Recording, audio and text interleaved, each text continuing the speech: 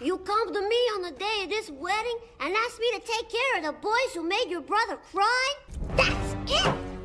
A binky? I don't get to squeeze no one's head or pull no one's hair. Dumb baby, can't even make a good wish. All right, kiss my ring. Ew! Go send the next one in and tell him to bring a sponge.